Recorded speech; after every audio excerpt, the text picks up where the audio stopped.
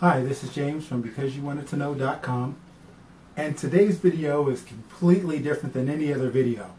It's not instructional at all, it's more of a victory video. This tablet, it is a, let me see, it is a motion computing Windows tablet. and it was, um, it's a Microsoft tablet. Well, it's a Windows, a Microsoft Windows tablet, you know, with a pen and everything. Uh, when it originally came out, it was unbelievably expensive. Uh, ran Windows XP tablet, and you know, believe it or not, you know, this was the first tablet out. Um, I actually picked it up at a garage sale for 20 bucks. And I don't know why I bought it, but I picked it up at a garage sale about a year ago.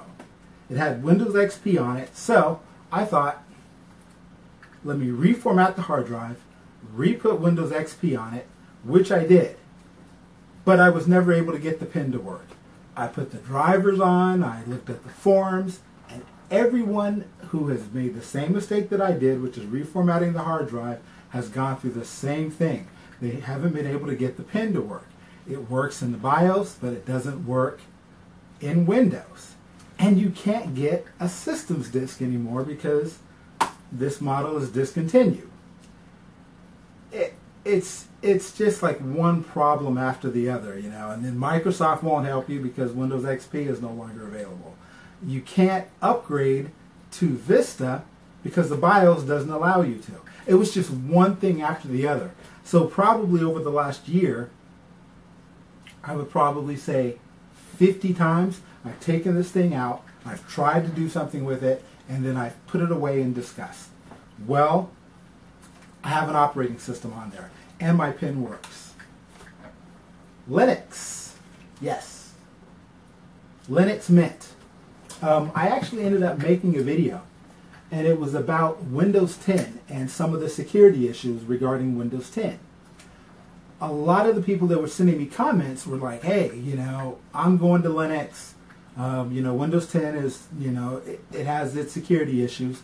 So I felt a little bit embarrassed that I didn't know anything about Linux. So I didn't have any spare PCs lying around. So I pulled this thing out, and believe it or not, I loaded it up. The pen worked. It loaded up fairly easy.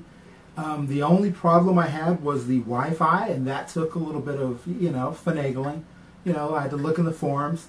But if you have one of these tablets, load up Linux.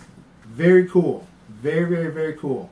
Um, and that's pretty much it. So, motion computing, M1300, and um, now that I've tackled this thing, to sell it on eBay.